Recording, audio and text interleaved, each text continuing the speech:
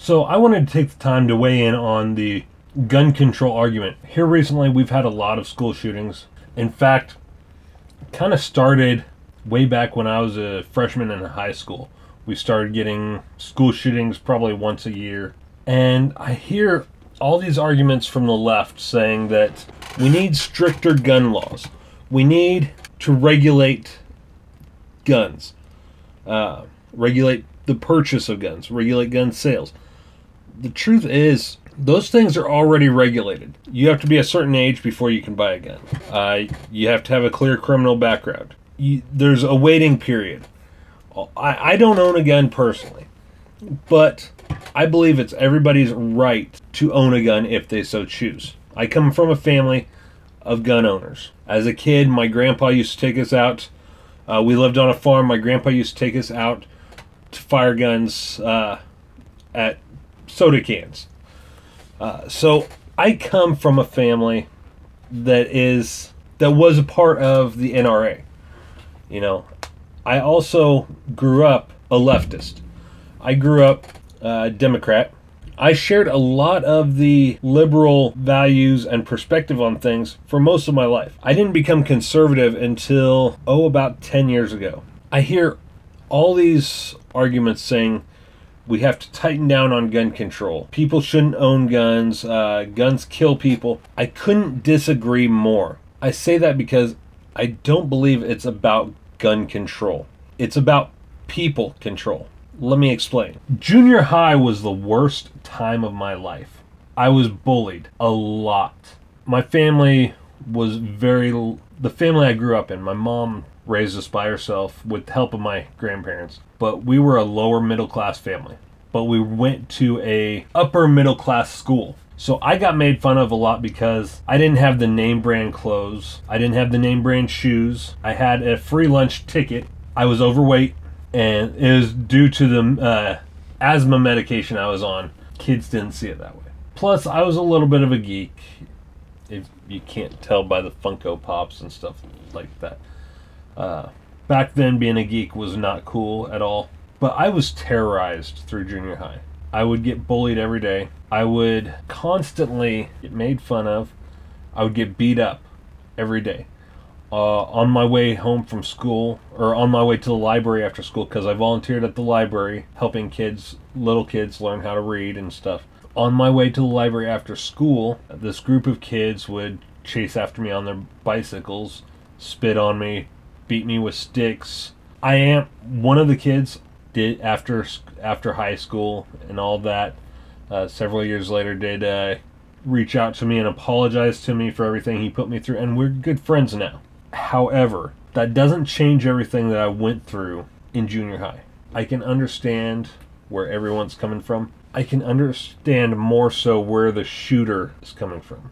And I don't say that to sound harsh.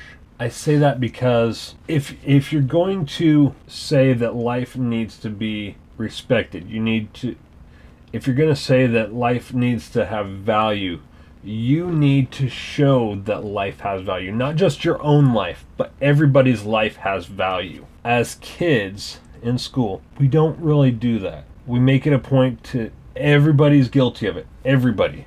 Even if you're someone who has been bullied in the past. Everybody is guilty of this in one way or another. Teasing someone, making fun of them, even little jabs, you know. Everybody's guilty of it. We don't hold life to the value that we should. People today, and they have for years, put more value on possessions than they do on life itself. Kids shoot up schools because they feel their life wasn't valued, so they aren't going to value other people's lives. And if even if they weren't able to get a hold of guns, they'd find another way. It is very easy to make a bomb. I know. I've when I was in school and going through this, I did look it up. That's how bad it was for me. However, I had people in my life, a cup, a handful of teachers, uh, the principal, and a handful of students who were. We I wouldn't actually say they were my friends. Um, they were, they were in the popular group, but they weren't bullies. Um, if I was sitting alone at lunch, they would invite me over to sit with them for a while. Uh, they were always nice to me. And that little thing, something so little as that, kept me from doing something completely extreme. Uh, when my principal would find out I was being bullied, he would find out. He would bring me to the office. He would talk to me. He would find out who was bullying me. And he would bring them into the office and he would put the fear of God in them. He was a great principal. He was probably one of the best principals I've ever had. And I can't tell you how much that meant to me that somebody somebody actually an adult put value into my life. Not just as a student, but as a person. If I didn't have that at that time, my life right now could have been completely different if I was even alive. Um, not saying that I would have shot up a school or blown it up or anything. You know, I, I could have killed myself. That's how bad things were for me. But looking back, I can I can see a school shooter's point of view. They have no hope. They're tired of not having their lives valued. You know, everyone wants to place value on their own life, but nobody puts value on anyone else's lives. That's where the problem comes in. You know, uh, school shooters, they feel like they have nothing left. They feel like they have, their lives have no value at all. So, of course, they're not going to value anyone else's life. And that's when the school shootings happen, or the school bombings, or whatever. If you want to stop school shootings, place value on everybody's life. Reach out to the kids that are sitting alone at school, at lunch, or on the playground, walking alone in the hallways. Don't let another day pass by to where they feel like their life doesn't have value. Because chances are, if they feel like their life doesn't have value, they're going to feel that your life doesn't have value. And that's no way to live. That's when bad things happen.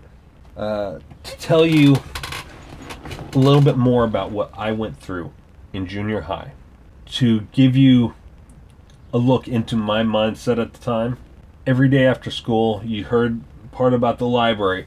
Uh, there were other days that I didn't go to the library that I would stay after school uh, to do get my homework done and everything. And these same bullies would chase me through the school, gang up on me, chase me through the school, and beat the living crap out of me. Um, at school dances, I would go by myself to hang out with my friends, what few friends I had, or what was called friends in the little group that we had we were all outsiders, um, but I was more of an outsider than anyone else. It was cool to pick on me. You know, even the ones that also got picked on, it was cool for them to pick on me too. I would get beat up regularly. Even at the school dances with teachers present, these kids would chase me. Um, there was one time the dances got held in the school gym for the most part one time they shoved me behind this uh, big tarp that they used to separate the gym from the boys' side and the girls' side. Uh, they shoved me back there so that nobody would see. None of the teachers would see or anything. Uh, but they shoved me back there and they would just beat on me. I, I would go home in tears. You know, there was another time I liked this girl and she liked me too, but is one of those things where she liked me, but she didn't want to tell anybody that she liked me. And her ex boyfriend found out that I liked her. And he was in the same kind of group that I was kind of in, you know. And at the school dance, which was held in the cafeteria at the time, it was a Valentine's Day dance. Every time he would pass me, he would punch me in the head. It was so bad that I got a concussion. I, at the time, I was afraid to stand up for myself. I was afraid to fight. I didn't want to get in trouble, you know. Um, but I had a concussion. I was out of school for over a week with a concussion because of it. And there was another time this this one student on the school bus. Uh, when I was sitting on the bus, he was sitting right behind me, and he would slam my head against the window when the bus driver wasn't looking. Uh, finally, I had had enough of it. He did this just about every day. Finally, I had enough of it. I reached back over the seat. I slammed his head into the window, and the bus driver caught me, and I'm the one that got in trouble for it. So many things that happened. I'm going to take these off. There were so many things that happened to me at that time in my life that really made me not value my own life. And therefore, I didn't value anyone else's life either. I didn't care. So, if you want to end the school shootings, if you want to end school violence, period, I suggest you start putting value on your classmates' lives. If you see someone getting bullied, stand up for them. If you see someone walking alone, walk with them. If you see someone having a hard time, help them. Give their life value. Let them know that their life has value.